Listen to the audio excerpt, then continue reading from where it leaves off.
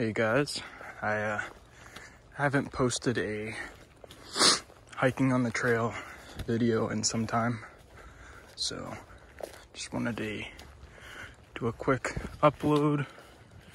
Just me out here hiking on the Florida Trail. The weather is starting to cool off, so it's much nicer to get out and hike. I uh, just got done practicing some zip lining, or not zip lining, slack lining, which is a lot of fun. I'm really enjoying doing that. It really helps build up your balance and strengthen your core muscles. So that's a lot of fun.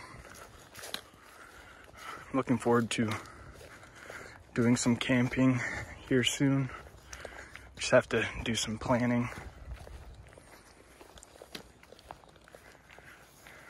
Hoping to have a couple of cool nights here before too long where it'll be really enjoyable to do an overnighter.